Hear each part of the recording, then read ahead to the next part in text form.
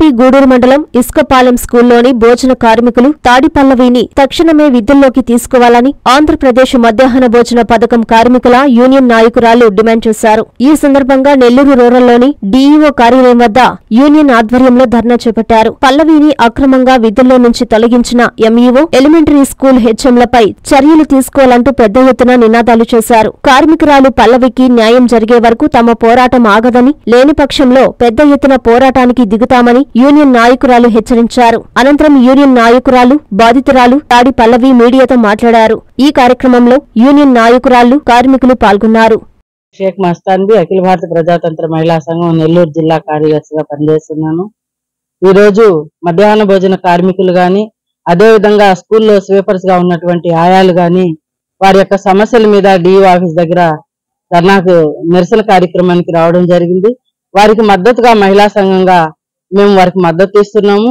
అదే విధంగా ఏదైతే ఈ రోజు అధికారంలో ఉన్నటువంటి తెలుగుదేశం ప్రభుత్వం చంద్రబాబు నాయుడు గారు రెండు వేల రెండులో మధ్యాహ్న భోజన పథకాన్ని తీసుకురావడం జరిగింది. ఆ గత ఇరవై రెండు సంవత్సరాలుగా ఈ యొక్క పథకాన్ని మహిళలందరూ కూడా ఆ రోజు ముప్పై పైసలు యాభై పైసలు ఒక బిడ్డకు బిల్లుగా ఇస్తే ఆ రోజు నుంచి ఈ రోజు వరకు కూడా ఆ యొక్క పథకాన్ని వారి ఎన్నో కష్ట నష్టాలు కొట్టి ఆ పథకాన్ని ముందుకు తీసుకెళ్తున్నారు. అటువంటి మధ్యాహ్న భోజన కార్మికుల్ని తొలగించడం అనేటువంటిది సరైనటువంటిది కాదు. అదే విధంగా స్కూల్ స్వీపర్స్కు ఆరు నెలల నుంచి జీతాలు ఇవ్వట్లేదు. వారికి ఇచ్చే జీతం ఆరు వేల రూపాయలు. ఈ రోజునటువంటి సమాజ పరిస్థితుల్లో ఈ అధిక ధరల్లో ఆరు వేల రూపాయలకు ఒక కుటుంబం గడవడం అంటే ఎంత కష్టమైనటువంటిదో ప్రభుత్వ అధికారులకు కానీ మీడియా మిత్రులకు కానీ అందరికి కూడా తెలిసినటువంటి విషయం. కేజీ బియ్యం అరవై నాలుగు రూపాయలు అమ్ముతున్నారు. కేజీ ఉల్లిపాయలు చూస్తే డెబ్బై రూపాయలు ఉన్నాయి. అటువంటి పరిస్థితుల్లో ఆరు నెలల నుంచి జీతం రాకపోతే ఆ కుటుంబం ఎట్లా గడవాలి? అటువంటిది ఈ రోజు ఆరు వేల రూపాయల జీతాన్ని కాకుండా వాళ్ళకి వేతనాలు పెంచాల్సింది పోయి వేతనాలు ఇవ్వకపోగా వీరి మీద ఏంటంటే రాజకీయ కక్ష సాధింపులు జరుగుతున్నాయి. ఈ విధంగా తొలగించడం అనేటువంటిది సరైనటువంటిది కాదు. వారి పనిలో ఏదైనా లోపం ఉంటే ఈ రోజు విద్యా కమిటీలు ఉన్నాయి. ఆ కమిటీలో పెట్టాలి ఒకటికి రెండు సార్లుగా వారికి మీద హెచ్చరించాలి నోటీసులు ఇవ్వాలి. ఆ విధంగా ఏమీ లేకుండా ఈ రోజు ప్రభుత్వాలు మారాయి కదా. వ్యక్తులను మార్చాలనేటువంటి విధంగా ఏదైతే ప్రభుత్వాలు తీసుకొచ్చినటువంటి పథకాల కోసం ఈ కార్మికులు కష్టపడి పనిచేస్తున్నారో వారిని అక్రమంగా తొలగించడం సరైనటువంటిది కాదని అఖిల భారత ప్రజాతంత్ర మహిళా సంఘంగా మేము వ్యతిరేకిస్తూ వారి యొక్క పోరాటాల్లో మేము కూడా భాగస్వాములు అవుతామని వారి సమస్యలు పరిష్కారం అయ్యేంత వరకు కూడా మేము ఆ పోరాటాలకు మద్దతు ఇస్తామని తెలియజేస్తున్నాం. కొత్త ప్రభుత్వం వచ్చిన తర్వాత భోజన కార్మికుల మీద స్కీమ్ వర్కర్ల మీద తొలగింపులు ఇలాంటివన్నీ కూడా చేస్తూ ఉన్నారు. మేము సిఐటి యూనియన్గా అట్లాగే భోజన కార్మికుల యూనియన్గా దీన్ని తీవ్రంగా ఖండిస్తా ఉన్నాము. ఎందుకంటే ఇరవై మూడు సంవత్సరాల నుంచి భోజన కార్మికులు బిల్లులు ఇచ్చినా ఇవ్వకపోయినా జీతాలు సకాలంలో ఇచ్చినా ఇవ్వకపోయినా ఆ బిడ్డలకు అంతరాయం లేకుండా భోజనం పెడతా ఉన్నారు. వాళ్ళ మీద ఇప్పటి వరకు ఎలాంటి రిమార్క్ లేదు.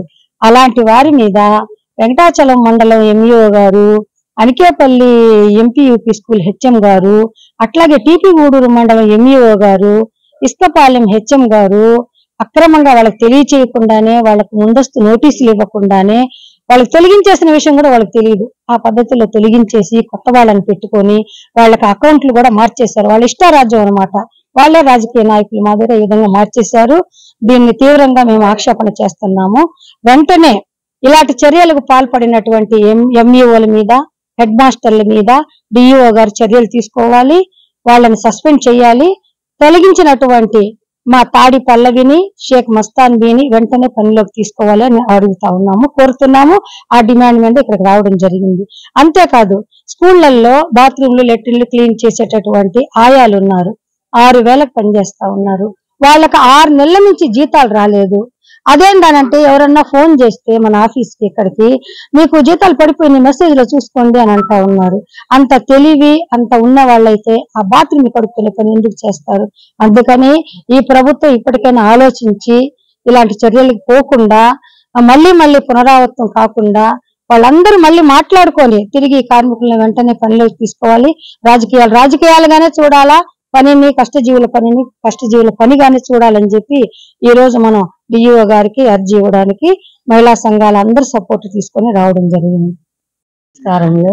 నా పేరు తాడి పల్లవి. నేను ఇరవై రెండు సంవత్సరాల నుంచి తోటపల్లిగూడెం మండలం ఇసుకపాలెం గ్రామం స్కూల్లో మిడ్ డే వంట చేస్తున్నాను. నన్ను ఆగస్టు పదమూడవ తేదీ స్కూల్లో అన్నం వండకుండా బియ్యం ఇవ్వకుండా గుడ్లు ఇవ్వకుండా హెచ్ఎమ్మ గారు నన్ను ఇంటికి బొమ్మని చెప్పారు. నేను ఆ రోజు వంట చేయాలని ఎంతో ఆశతో పోయాను. కానీ నాకు ఆ రోజు గుడ్లు బియ్యం ఇవ్వకుండా నువ్వు నిన్ను తొలగించబడుతున్నాము. మాకు పై నుంచి అధికారులు ఫోన్ చేసి చెప్పారు. అందువల్ల మేము తొలగిస్తున్నాము. నువ్వు రేపటి నుంచి అన్నం వండడానికి రా రావడానికి లేదు అని చెప్పినారు. నేను ఆ వెంటనే ఇరవై రెండు సంవత్సరాలు చేసిన పనిని ఆ రోజు నేను ఎంతో బాధతో ఇంటికి వచ్చాను. ఎందుకంటే ఎన్ని కష్టాలున్నా కానీ వాన కాదు ఎండ కాదు ఇంట్లో మనుషులు చచ్చిపోయినా సరే ఆ బిడ్డ ఆపరేషన్ చేసి హాస్పిటల్లో ఉండి ఆ బిడ్డ నాడు పెట్టేసి వచ్చి ఇంటికి వచ్చి వంట చేసి పెట్టి ఉన్న పరిస్థితులు కూడా ఉన్నాయి. కానీ నాకు ఇప్పుడు చాలా బాధగా ఉంది. ఎందుకంటే రోజు త్వరగా లేచి పని చేసుకొని స్కూల్కి పోయి బిడ్డలకు అన్నం వండి పెట్టాలని ఆర్తుండేది కానీ ఇప్పుడు నాకు అలాంటిది ఏమీ లేదు. నాకు ఏ నోటీసులు పంపలేదు. ఎలాంటివి ఏమీ చెప్పలేదు. మీటింగ్లు పెట్టలేదు. అలా ఏమి చేయకుండానే నన్ను అన్యాయంగా తీసేశారు. కానీ నా నా ప్రార్థన ఆలకించి నా మాటలు ఆలకించి నా మొర ఆలకించి నాకు మళ్ళీ నేను పోగొట్టుకున్న పని నాకు తిరిగి ఇవ్వాలని అందరినీ కోరుచున్నాను. పదమూడు సంవత్సరాల జూనియర్ కాలేజ్ ప్రయాణంలో విశ్వసాయి మరో మైలురాయి. విశ్వసాయి జూనియర్ కాలేజ్ వారి మరో నూతన బ్రాంచ్ రమేష్ రెడ్డి నగర్ నందు రెండు వేల ఇరవై నాలుగు ఇరవై ఐదు అకాడమిక్ సంవత్సరం నుంచి ప్రారంభమవుటకు సిద్ధంగా ఉంది. అన్నమయ్య సర్కిల్ టోనోస్పీట్ ధనలక్ష్మీపురం ఇలా నెల్లూరు నలుమూలలా ఇంతకు ముందే బ్రాంచీలు కలిగిన విశ్వసాయి జూనియర్ కాలేజ్ ఇప్పుడు మరో నూతన బ్రాంచ్ రమేష్ రెడ్డి నగర్లో కేవలం పదమూడు సంవత్సరాల వ్యవధిలో అనేక బ్రాంచ్లు స్థాపించడమే కాకుండా వెయ్యికి పైగా మెడికల్ సీట్లు మరెన్నో ఐఐటి ఎన్ఐటి సీట్లు ప్రతి సంవత్సరం పొందుతూ ఎప్పటికప్పుడు పిల్లల భవిష్యత్తుని తల్లిదండ్రుల నమ్మకాన్ని నిలబెడుతూ ఉన్న విద్యా సంస్థ విశ్వసాయి జూనియర్ కాలేజెస్ నెల్లూరు తిరుపతి.